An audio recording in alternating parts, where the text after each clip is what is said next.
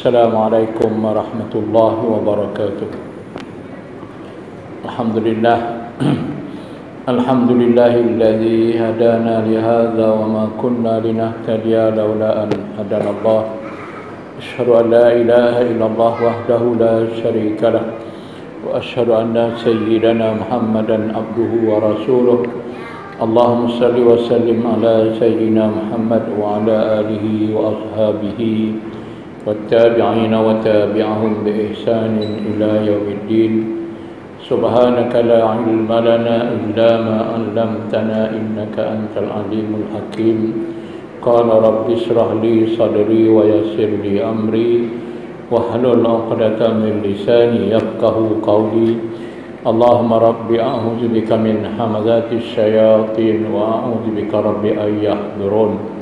اللهم أرنا الحق حقا وارزقنا اتباعه وأرنا الباطل باطلا وارزقنا اجتنابه اللهم زدنا علما نافعا وارزقنا فهما واسعا امين يا رب العالمين Alhamdulillah syukur kepada Allah Subhanahu Wa Taala sama-sama kita panjatkan kerana dengan limpah kurnia Allah serta taufik dan hidayah daripada Allah Subhanahu Wa Taala kita terus dapat menunaikan ibadah puasa pada bulan Ramadan sambil itu kita dapat menunaikan majlis iftar ya puasa kita sebentar tadi di rumah Allah Taala dan kita meneruskan dengan menunaikan solat fardu maghrib berjamaah dan insyaAllah fardu isyak sebentar lagi juga berjamaah.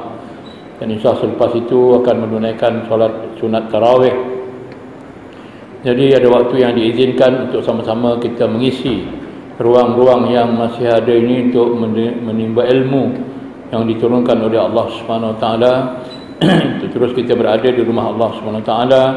Jadi kepada yang belum berniat niatlah dengan niat. Bismillahirrahmanirrahim. Nawaitul i'tikaf fi hadzal masjid. Sunnatulillahi ta'ala. Saja aku beriktikaf di rumah Allah ini sunat pada Allah Ta'ala juga. Dan yang keduanya marilah sama kita mula majlis ini dengan baca umul kitab Al-Fatihah. A'udzu billahi minasyaitonir rajim Bismillahirrahmanirrahim. Alhamdulillahi rabbil alamin. Arrahmanir rahim maliki yaumiddin iyyaka na'budu wa iyyaka nasta'in ihdinas siratal mustaqim صراط الذين أنعمت عليهم غير المغضوب عليهم ولا الضالين آمين yang dimuliakan Tuan Imam dan seluruh pegawai masjid Tuan Nazir dan ahli jawatan kuasa Tuan-tuan dan puan para ahli ulama para tuan guru Ustaz dan Ustazah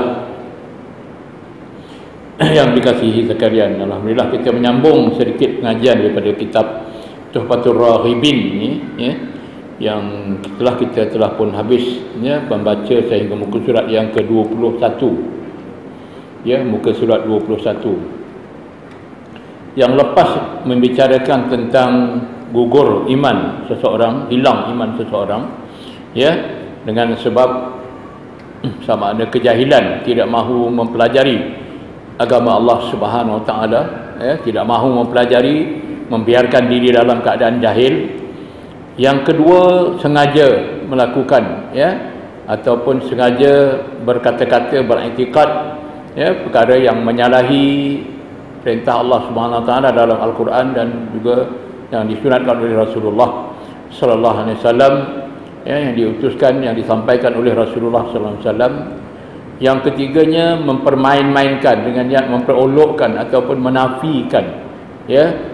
Uh, segala yang diperintahkan oleh Allah SWT dalam ayat Al-Quran ya, dalam ayat Al-Quran ataupun sunnah-sunnah Rasulullah yang mutawatirah yang sahih. Maka perbuatan-perbuatan ini semua menyebabkan kita keluar daripada Islam ya. Hilang iman kita maknanya kita keluar daripada Islam. Bila keluar daripada Islam maka seluruh amal ibadah kita seluruh. Apa yang kita lakukan ya ketaatan kita kepada Allah sebelumnya ya sebelum daripada itu kita melakukan. Dan kita uh, apa nama ni mengingkari sengaja uh, memperolokkan mempermainkan dan sebagainya. Kita pelajari itu maka hilanglah iman kita dan gugurlah Islam kita ya. Jika demikian maka kembalilah kita bertaubat kepada Allah Subhanahu taala dan sentiasalah kita juga bertaubat kepada Allah Subhanahu taala kerana kita tidak tahu. Ya kadang-kadang keyakinan kita juga ya dalam keadaan yang uh, longgar ya ragu-ragu dan sebagainya menyebabkan iman kita kita tidak tahu bagaimana Allah nak mengambil kira tentang iman kita tadi ya. Ya, sebab itu tuan-tuan yang dirahmati Allah sekalian dalam hal uh, perkara-perkara yang diperintahkan oleh Allah SWT sama ada perintah suruh atau perintah larang ini ya kita kena berhati-hati dan kita kena uh, memberikan perhatian yang sungguh-sungguh. Sebab kalau tidak ya di situlah ya iman kita boleh hilang dan iman kita boleh gugur ya. Jadi jika demikian maka ya kalau kita keadaan demikian maka kita bimbang ya seluruh amal kita ya. Bahkan seluruh amal kebajikan yang kita lakukan akan binasa semuanya akan hilang kita banyak puasa banyak kita solat banyak kita sedekah eh, banyak kita infak dan sebagainya tapi habis semua hilang. Ya habis ya Baik itu dalam kita mengejarkan ibadah puasa ni kalau tuan-tuan uh, masih ingat ya dalam video yang ditularkan oleh uh, Allah Yarham Abu Hasan bin Al-Hafiz ya sebelum dia meninggal. Ya pada malam dia berceramah ya malam dia berceramah besok pagi dia meninggal. Apa pesanan dia? Ya pesanan dia ya ini satu ya kita belum ingat. Pesanan dia dia kata ya kita kena ya, menunaikan hak Allah Subhanahu Wa Taala ke atas hamba iaitu hak Allah yang Allah, yang Allah minta kepada kita menunaikan solat. Solat lima waktu solat fardu lima waktu. Itu adalah kewajipan. Ya saya mengamati beberapa kali ceramah beliau dan saya memikirkan kenapa solat ini ya dia tidak ada kalang galang gantinya. Kalau kita tinggal solat ya kita tinggal solat dulu dulu-dulu pun kita ada tinggal solat ya kita belum mengqadanya ha, maka dia kata wajib kita mengqadanya tak ada tak ada kalang ganti kalau dulu kita niat bila kita banyak mengerjakan ibadah-ibadah sunnah ya solat-solat sunat banyak kita lakukan maka yang solat wajib tadi boleh kita uh, solat sunat tadi boleh menggantikan solat yang wajib. Tak boleh ya tak boleh kena ingat. Jadi maknanya kita kena ganti solat kita dulu. Qada kita itu kena buat. Sebab tu solat ini satu ibadah ya kalau kita lihat dalam uh, apa nama ni ajaran agama Allah kita ya dalam ajaran agama Islam banyak ibadah-ibadah ataupun perintah-perintah yang lain ada gantinya. Biasanya ganti itu dengan ganti bayaran. Ya kifarat. Dipanggil kafar kafarah kifarat. Ya ha, kita melakukan kesalahan kesilapan ini maka ini gantinya. Dalam ibadah haji juga ada. Ya ketinggal yang wajib kita kena bayar dam ya nak melepaskan diri kita daripada uh, berihram. Umpamanya kita kerana ada sebab-sebab tertentu ihram. Maka kita kena sembelih kambing bayar dam. Nampak tak? Boleh dibayar. Puasa ya kena bayar fidyah. Kalau kita tak larang nak puasa boleh bayar. Apa lagi? Uh, ibadah-ibadah yang lain. Kisah umpamanya kisah. Kisahnya adalah satu bunuh bunuh balas bunuh dalam Al-Quran ya ayat 188 dalam surah Al-Baqarah. Makna bunuh balas bunuh. Pun boleh diganti. Boleh dibayar dia. Ya ganti. Bila dimaafkan maka bayarlah ganti rugi. Lihat. Ya boleh dibayar dengan duit. Apa lagi ibadah? Semua boleh. Puasa bayar fidyah ya zakat memanglah. Jadi apa lagi? Uh, tapi ibadah solat tak ada ibadat solat mesti kena ganti dengan solat juga tuan-tuan yang rahmat Allah sekalian sinilah dia kata ya ibaratnya dia kata tuan guru kata Allah yarham tuan guru kata ibarat orang yang dah membuka akaun Solat ini ibarat kita membuka akaun. Akaun kita di hadapan Allah Subhanahu Wa Taala. Kita ada akaun simpanan di hadapan Allah Subhanahu Wa Taala. Kita buka kita solat, kita buka akaun. Bila kita meninggalkan solat, bermakna ibaratnya kita membocorkan akaun kita tadi. Ya, membocorkan akaun kita. Jadi kalau akaun kita bocor, kita tak solat, kita belum tampung. Nak menampung bocornya solat tadi kita kena solat juga. Kena qada solat tadi. Ha, ini tuan-tuan ni rahmati Allah sekalian ya. Lebihnya solat kita kena qada solat kita bila kita mengqada solat kita kita ibaratnya kita menjahit semula kantung-kantung yang koyak tadi. Yang berlubang tadi kita jahit semula je itu dalam hadis Rasulullah SAW menjelaskan betul lah ya. Bila hadis Rasulullah menjelaskan ya. Uh, man aqama as-salah faqad aqama ad-din. Sesiapa yang mendirikan solat bermakna dia mendirikan agama keseluruhan. Maknanya ajaran agama Islam kita ni seluruhnya. Ya? Seluruhnya perintah Allah Subhanahu Wa Taala perintah suruh yang kita lakukan dan perintah larang yang kita tinggalkan. Allah kata jangan buat kita tinggalkannya kerana Allah Subhanahu Wa Taala. Semuanya dapat kebajikan. Semuanya dapat pahala. Makna kita membangunkan agama. Ya? Membangunkan agama. Tetapi disebutkan juga dalam hadis itu man tarakaha faqad hadamaddin sesiapa yang meninggalkan solat bermakna dia meruntuhkan agama dia. Bukan runtuh agama tu kita kata memanglah kolap agama tu? Ya. Kita tak ada kekuatan untuk mempertahankan agama Allah. Itu masalahnya meruntuhkan. Jadi di sini meruntuhkan agama tu ibaratnya untuk diri kita kosong. Akaun kita kosong. Akaun kita bocor. Ha, jadi sebab itu kena tunaikan solat itu kena qadak solat itu. Ha, itu pesanan daripada tuan guru. Ya tuan guru harus yang dia dan itulah ya juga yang diingatkan oleh para alim ulama tuan-tuan guru kita dulu ya. Kalau orang ngaji pondok ni selalu sangatlah diingat jaga solat jaga solat. Ya jaga solat jangan sampai tinggal solat. Kerana bila tinggal solat ya ibaratnya kita membocorkan akaun kita. Habislah tak ada apalah.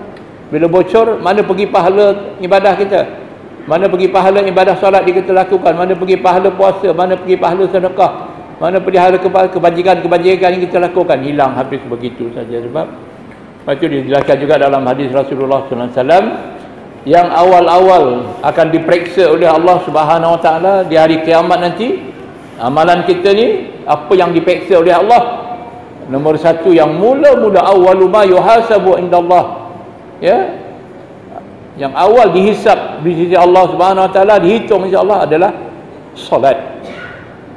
Solat itu Allah akan lihat dulu solat. Mana solat dia? Datanglah solat.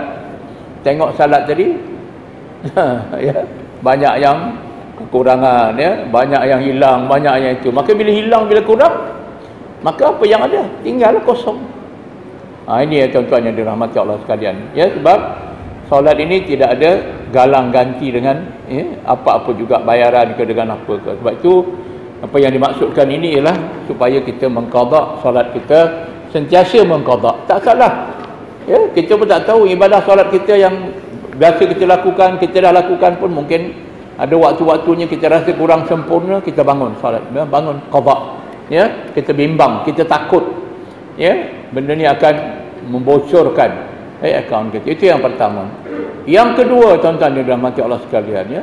Bila kita memahami daripada kitab Tuhfatul Raghibin ini ya kita pertama dia kata jangan mendustakan ayat-ayat Allah Subhanahu Wa Taala.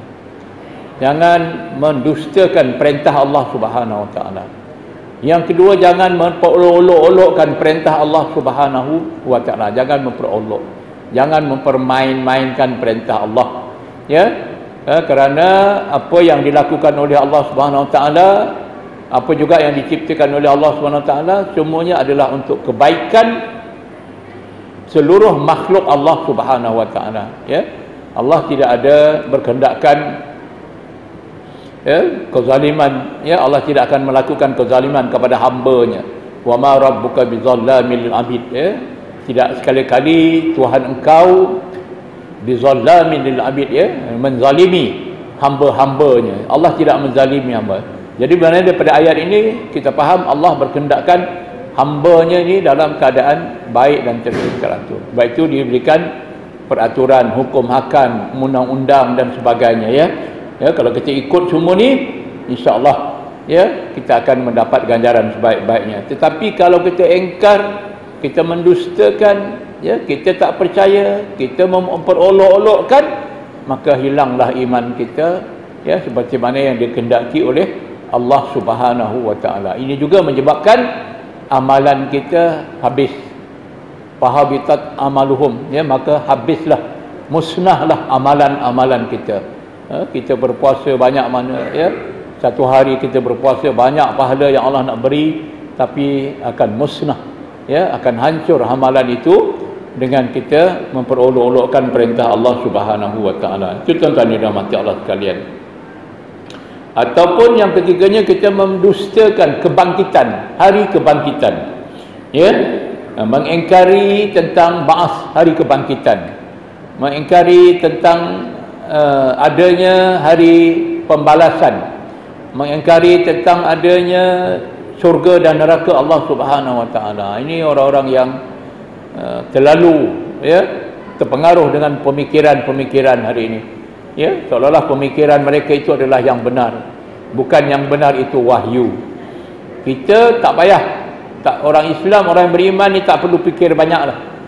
Kalau ianya wahyu Allah Subhanahu taala dalam Al-Quran, kita terima aja dulu. Tapi kalau dianya bukan wahyu tak apalah, boleh kita fikirkan lagi.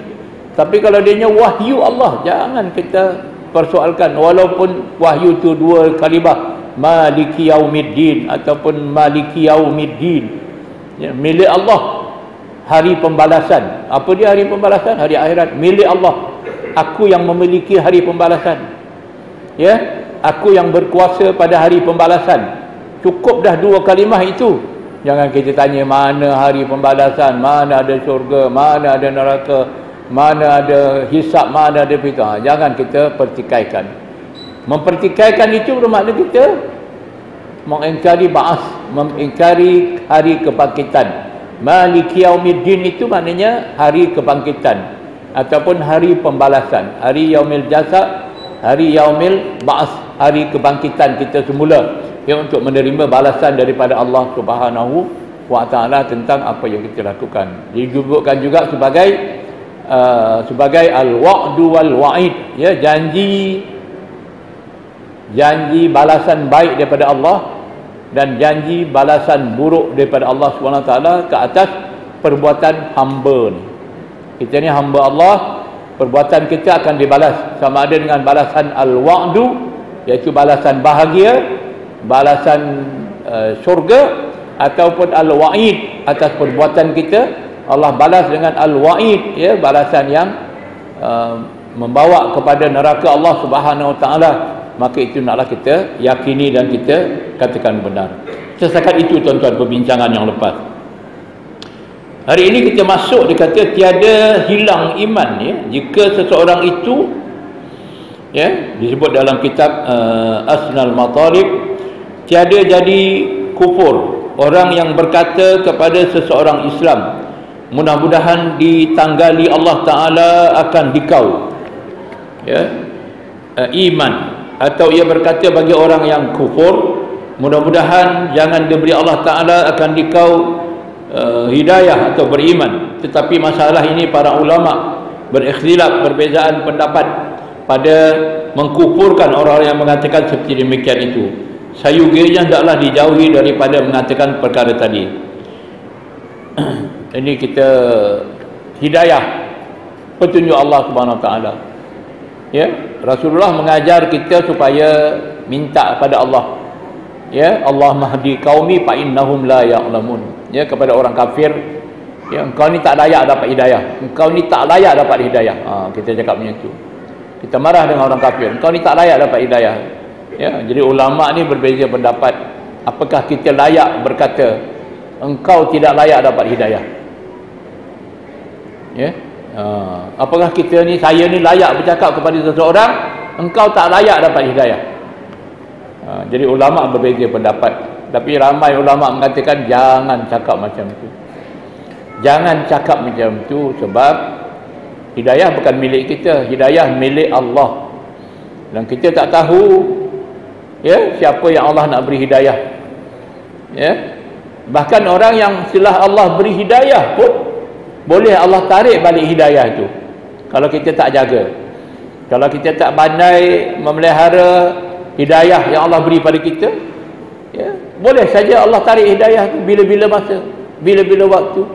Hari ini dia salat keluar daripada salat daripada luar masjid Allah tarik hidayah. Habis? Boleh? Ha, jadi hidayah-hidayah ni jangan kita buat olok-olok, buat main-main. Ah, engkau ni tak layak dapat hidayah Allah. Tak boleh cakap ni. Tak boleh. Ya? tapi kita disuruh berdoa diajar oleh Rasulullah Allahumma di qaumi fa innahum la ya'lamun ini dalam peristiwa di kota Taif ya benda ceritakan hari itu bila Rasulullah berdakwah orang kota Taif tak mau terima bahkan bukan tak mau terima dakwah Rasulullah baling pula lagi Rasulullah ya dihina di Rasulullah diejek Rasulullah. Ya macam-macam. Dan Rasulullah terpaksa balik ya dalam keadaan ya, kepedatan dalam keadaan cedera. Ya cedera dibaling dengan batu dan sebagainya walaupun dilindungi oleh para sahabat. Ada juga batu-batu yang kena kepada muka Rasulullah. Eh, dan dipahamkan katanya kaki Rasulullah juga berjalan jauh. Ya baginda tak pernah keluar daripada kota Madinah kota Mekah. Ya berjalan jauh ke kota Taif sampai luka dan Rasulullah mengadu pula kepada Allah Subhanahu Wa Taala ya antara aduannya Rasulullah kepada Allah. Dia kata ya Allah ya Tuhanku lemah dah badan ni letihnya tubuh badan ni lemahnya badan ini habis dah usaha dayaku habis dah ikhtiarku ya untuk menyampaikan dakwahmu ini ya Allah. Untuk menyelawan menyampaikan seruanmu ya Allah kepada umat ini kalaulah bukan kerana kemurkaanmu ya Allah ya kalau Allah bukan kerana, kerana kemurkaanmu jika aku tinggalkan perbuatan ini kalau Allah tak murka aku tinggalkan perbuatan ini itu berdakwah menyampaikan salah aku tinggalkan benda ni ya kalau salah tak anda buat benda tu dah. Ya. Tapi disebabkan kemurkaan Allah Subhanahu Wa Taala kalau Allah Rasulullah tinggalkan tak ada siapa lagi nak menyeru agama Allah Subhanahu Wa Taala di muka bumi ini, maka Rasulullah teruskan juga. Maka ketika itu diberitahu didengar oleh para malaikat. Malaikat yang mengiringi Rasulullah SAW mendengar rintihan Rasulullah SAW dan datang kepada Rasulullah. Bertanya kepada Rasulullah mintalah kepada Allah. Bertanya dalam bentuk mintalah kepada Allah wahai Rasulullah kami ni para malaikat balikkan bukit Taif ini supaya menimpa penduduk kota Taif biar mati semua. Ha, tapi Rasulullah SAW tidak minta macam tu. Dia tidak dia tidak melayan permintaan tak ibaratnya tidak melayanlah permintaan para malaikat. Tapi Rasulullah terus berdoa kepada Allah Allah mahdi qaumi fa innahum la ya'lamun. Berilah hidayah kepada kaumku kerana mereka tidak mengetahui. Ha, itulah yang dimaksudkan tadi dalam ayat dalam buku ni jangan kita ya uh, apa nama ni merendah-rendahkan ya hidayah dari hidayah Allah yang akan Allah yang kita tak tahu Allah nak beri kepada seseorang ataupun tidak. Maksudnya jangan kau ni tak layak dapat hidayah ya. Engkau ni tak perlulah hidayah ha, begitu ya. Tak sesuai kau ni dapat hidayah ha, begitu. Jangan ya. Jadi kita minta supaya mereka diberi hidayah oleh Allah Subhanahu Taala. Dan demikian lagi tidak menjadi kufur orang yang masuk ke negeri orang-orang kafir harbi dan meminum arak bersama mereka itu dan ia memakan daging uh, khinzir bersama mereka itu melainkan jika diperhalalkan maka ia menjadi kufur. Kata seseorang pendapat ulama dia masuk ke negeri berziarah ataupun macam kita lah pergi ke negara yang tidak ada makanan halal. Tapi sekarang ni ada, mana-mana pun ada makanan halal. Ya. Tapi ditakdirkan kita masuk ke satu negara, satu negeri itu tidak ada makanan halal. Ya. Dan minum minuman halal pun tak ada. Ya, kita tak tahu, mana tahu ya. Ha. Tapi iman kita tetap mengatakan benda itu haram, cuma kita kena makan sebab tak ada makanan lain kena minum arak sebab tak ada minuman lain itu je yang ada semua kena minum dengan syarat kita minum ataupun kita makan benda yang haram tadi bukan maksud kita menghalalkan benda tersebut ha. tak boleh menghalalkan benda yang diharamkan oleh Allah SWT tapi boleh kita makan kerana kita terpaksa nak makan atau terpaksa nak minum tapi bukan nak mengatakan ianya halal ha. kalau begitu boleh tapi kalau kita kata tak apalah benda ni semua dah tak ada lah yang lain dah. Ini je yang ada halal lah. Ha, tak boleh. Ha, kita lu cakapnya halal lah. Ha, halal lah. Kita main-main gitu. Ataupun kita main-main kadang-kadang tu. Ha, semua dah tak ada lain. Makanan tak ada. Halal je lah. Ha, mana buat tak? Tak boleh. Walaupun perkara tu sebut benda tu tu syubahah. Syubahahnya macam mana contohnya? Sembelihan ayam. Ha, ya? ramai orang bercakap Ramai pusat-pusat sembelihan. Sembelih yang halalnya, yang betul-betul halalnya, ha, katalah dia perlu menyembelih 500 ekor sehari. Itulah limit dia 500 ekor sehari. Satu-satu pusat sembelihan ataupun 3000 ekor sehari. Sembelihan. Ya, itu yang dapat halal-halal pusat sembelihan tu. Ya, ya baik jakim ke daripada jabatan agama ke halal. Kita kata dia ada, ada halal. Mana halal dia tunjuk halal dia. Betul. Tetapi masalahnya yang lebih daripada 3000 ekor ah, katalah ada permintaan 3500 ekor. Yang 500 ekor yang kemudian itu. Pada ah, ini selalu yang berlaku macam tu. Yang lebihnya itu ah, permintaan lah itulah. Ini dah bercampur dengan halal dan haram. Maka bila bercampur halal dan haram tu kita pembeli-pembeli ni tak upaya nak kata syubahah lah. Syubahah. Syubahah ni ya, nak raya ni biasalah kita kita tak, tak boleh kata 100% halal. Syubahah lah kita kata. Syubahah ni adalah haram. Syubahah ni hukumnya haram. Man waqafi syubah waqafil haram. Ya, tengok salah tu hadis dalam kitab matan arba'in hadis 40 tu. Ada situ al halal bainun al haram mubayyinun wa bainahu umur mustabihat. Ya di antaranya ada perkara-perkara yang mutasyabihat yang kesamaran man man waqa'a fi syubah waqa'a fil haram. Siapa yang masuk dalam syubah jatuhlah dia dalam perkara haram. Ha, bila dalam keadaan macam tu ah kira halal lah. Ha, jangan cakap macam tu. Jangan cakap macam tu. Kira halal lah. Tak boleh tak boleh, tak boleh. syubah tetap syubah. Ha, cumanya kita kata kita makan subah tu mungkin waqa'a fil haram, ha, mungkin dosanya agak boleh katakan ringan lah. Kita pun tak tahu nak buat macam mana. Tapi dia situ kita yakin ada subah dan kita pun tahu. Orang pun beritahu. Sembelihan memanglah dia ada limit dia. 3000 ekor. Jadi permintaan anak raya melebihi daripada 3000 ekor. Ha, masa itulah disebut yang 1000 ekor lagi disembelih main cocok cocok cocok cocok cocok ha, itu maksud dia ya ha, jadi tuan-tuan sebab tu jadi fardu kifayah sebenarnya masjid-masjid ni kalau nak raya usahalah masing-masing masjid. Ya? Ha, kita beli ayam hidup ya sembelihkan untuk jemaah untuk para para ni. Usahalah berusaha. Ha, jangan kita bergantung semata-mata pada ayam-ayam yang ada di kedai-kedai itu carilah. Mencari yang halal. Carilah yang betul-betul ha, halal ya.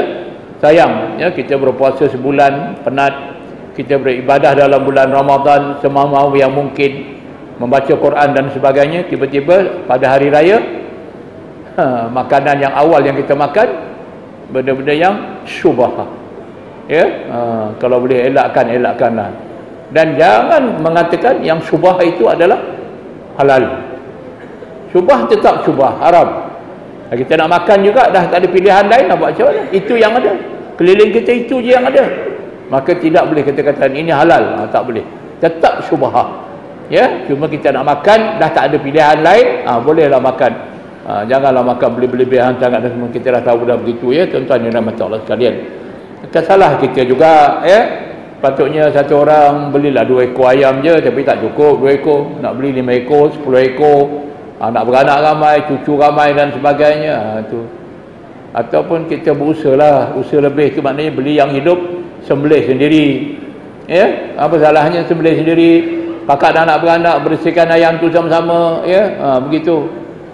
Nak mendapat yang halal ya ha, bukan senang nak mendapat yang halal tu kan tahu susah tapi bukan tidak boleh boleh kita usahakan. Kemudian seterusnya dalam kitab ini muka surat 22 dikata menjadi kufur kepada orang yang berkata dikata dan tersebut di dalam kitab Syu'bah ha? Syu'bah.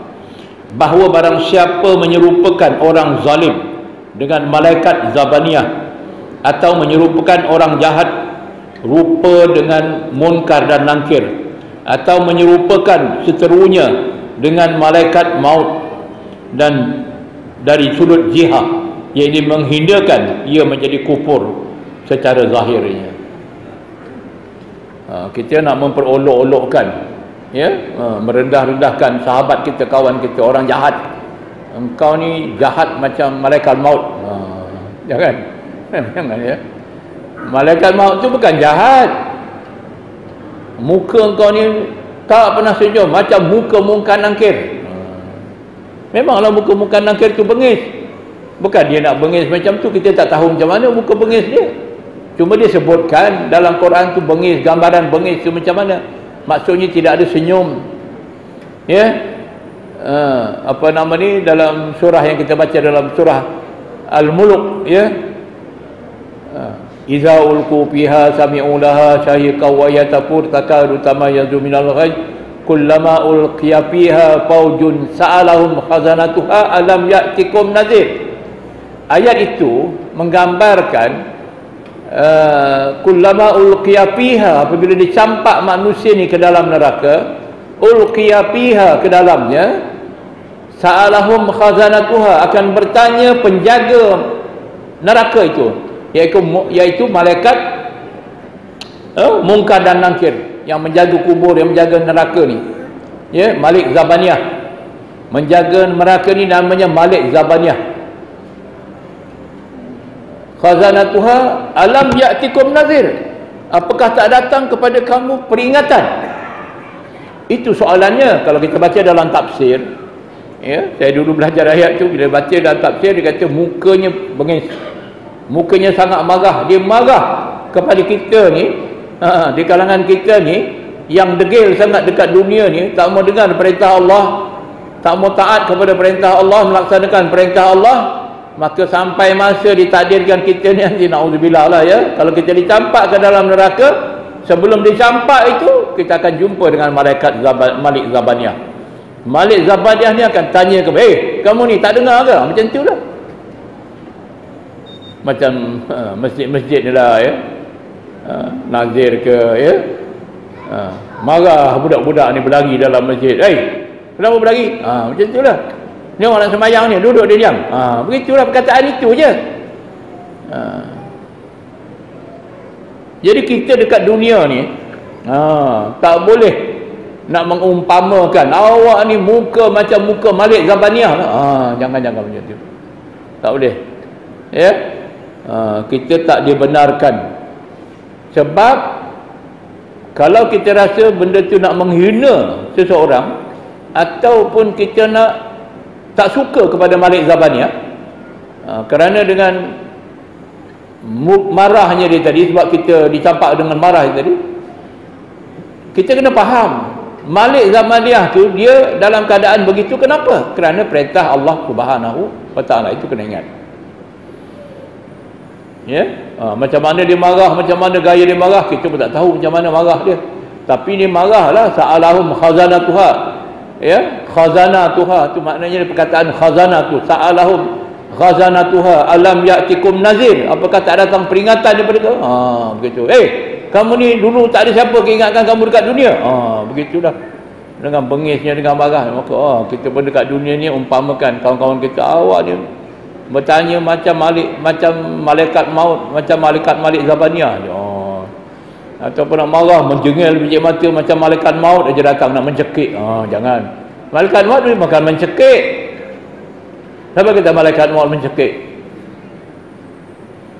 Ya? malaikat maut tu dia menarik sakaratul maut. Mencabut nyawa kita tu susahnya nak cabut. Lah begitu amalan kita lah. Jadi kepayahan itu mencabut nyawa itu bukan kerana malik. Balik kalmat yang mencabut tu. Garangnya dia ke takutnya kita ke tak ada. Dia tak ada dia pun tak ada dia pun tak ada macam kalau baca dengan Rasulullah SAW bila dia bila dia dalam keadaan sakaratul maut itu ya, dia minta air minta air sapu muka dia ya dia, ha, dia letakkan apa Aisyah apa nama ni Fatimah binti Rasulullah letakkan air ya letak air sejuk maka disapu muka dia ya merasa sakitnya tarikan sakaratul maut itu, itu Rasulullah. Kita lagi lah. Ya kita lagi lah itu bila, ya, bila orang yang sedang nazak tu letakkan air sapukan air dekat muka dia sapukan biar dia dia lembut sikit eh, itu je caranya memang sakit Allahumma hawin alaina fi sakarat fi sakaratil maut Ya Allah Tuhanku jauhkanlah daripada kehinaan menghadapi sakaratul maut. Kita memang sakit. Ha, jadi jangan kita pula memperolok-olokkan. Oh, ya. Awak ni macam malaikat sakaratul maut ni menarik sakaratul maut, gagang dan sebagainya kan. Ya. Dia bukan dak.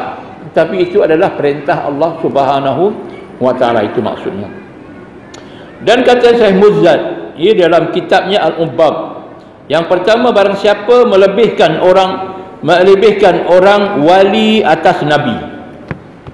Siapa yang melebihkan wali di atas nabi? Tak boleh. Wali walilah, taraf wali. Nabi nabi, taraf nabi, rasul rasul, taraf rasul. Masing-masing ada tingkatan dia. Jadi wali tidak boleh mengatasi. Macam sekarang ni lah. Ya, orang-orang Syiah mengatakan imam dia tu bertaraf maksum, bertaraf nabi. Tak boleh. Macam orang syiah tu dia banyak menyelewengkan ni fakta-fakta. Imam-imam yang 12 tu tarapnya tarap Nabi, tarap Rasul. Iaitu maksum. Tidak melakukan kesalahan. Tidak melakukan dosa. Maka tak boleh. Ya, Maka orang yang menganggap macam tu, yang mengikut orang macam tu, dia juga menjadi sesat. Ya, Dan menjadi kufur. Yang kedua, atau menyangkakan bahawa sifat rububiyah apabila ia zahir atas hamba nescaya terangkatlah daripadanya segala hukum taklif syarak hmm, manusia yang mempunyai sifat ketuhanan rububiyah. Maka dia sudah tidak ada taklif syarak. Salah. Manusia selagi dia bergerak manusia taklif syarak itu wajib ke atas dia. Tak boleh dia gugur taklif syarak. Ada ramai orang macam ni. Ya? Ha, bukan setakat dia mengangkat diri taraf rububiyah baru taraf apa wali ke ataupun kononnya taraf-taraf orang yang berzikir beruzlah ataupun dia ber, ber, ber apa ni bersuluk ha, bersuluk. Ha? dua minggu bersuluk. Balik-balik daripada bersuluk tak semayang. Kenapa tak semayang? Allah iman dah penuh lah. Ha, tu dia. Jangan. Tak ada manusia yang hilang ataupun gugur taklif syarak. Taklif syarak ni tanggungjawab syarak. Hatta Rasulullah dia maksum Rasulullah itu maksum tetapi dia tetap juga melakukan ibadah. Tetap wajib sembahyang ke atas Rasulullah bahkan banyak sembahyangnya. Jadi macam mana pula orang yang mengaku wali lah orang yang ada beruzlah lah orang yang ada bersuluk lah orang yang bertarikat lah kononnya bertarikat itu tarikat ini akhirnya tak ada taklif syarak gugur hilang taklif syarak daripada diri na'udzubillah min zalik ini kalau anu jangan kita ikut kalau ada orang yang mengajak ke tahap ini jangan kita ikut tidak ada manusia yang boleh lepas ataupun hilang gugur taklif syarak ke atas diri dia hatta para rasul sekalipun. Ini tuan-tuan yang rahmati Allah sekalian. Cakap itu yang dapat saya sampaikan. Saya lipat sini seolah kita akan sambung pada muka surat yang ke-22 ni. Mudah-mudahan ya memberikan ingatan kepada kita diri saya juga supaya jangan kita sampai ingkar kepada perintah Allah, mensyirikkan Allah ataupun kita mempermainkan mempermainkan perintah-perintah Allah, mempermain-mainkan segala keterangan-keterangan yang ada di dalam Al-Quran Allah Subhanahu Wa Taala. Mudah-mudahan itu dengan kita dapat memelihara iman kita ya supaya kita tidak menjadi manusia yang takabur, sombong, suka ha, dan syirik kepada Allah Subhanahu Wa Taala yang mana perkara ini semua boleh merosakkan amalan kita ya. Wallahu alam. Bismillahirrahmanirrahim. Alhamdulillahi rabbil alamin. Wassalatu wassalamu ala asrafil anbiya'i wal mursalin sayyidina muhammad wa ala alihi washabihi ajma'in. Allahumma rabbana innana amanna bima anzalta wa tabana ar-rasul faktubna ma'a syahidin allahumma rzuqna mutaba'atin nabiy sallallahu alaihi wasallam. Awwala wa akhira wa zahira wa batina wa qawla wa fi'la wa amrata wa amalan salih wa wa'da bi rahmatika ya arhamar rahimin. اللهم ربنا آتنا في الدنيا حسنة وفي الآخرة حسنة وقنا عذاب النار. اللهم اجعل هذا جمعنا جمعا مرحوما وتفرقنا من بعد هذا تفرقا معصوما واغفر له لنا ربنا عليك توكلنا وإليك أنبنا وإليك المصير. وصلى الله على سيدنا محمد النبي الأمي وعلى آله وصحبه وسلم. والحمد لله رب العالمين اللهم سبحانك اللهم وبحمدك أشهد أن لا إله إلا أنت أستغفرك وأتوب إليك. بسم الله الرحمن الرحيم. والعصر إن الإنسان لفي خسر إلا الذين آمنوا وعملوا الصالحات وتواصوا بالحق وتواصوا بالصبر. صدق الله العظيم. وبالله التوفيق والهداية. والسلام عليكم ورحمة الله وبركاته.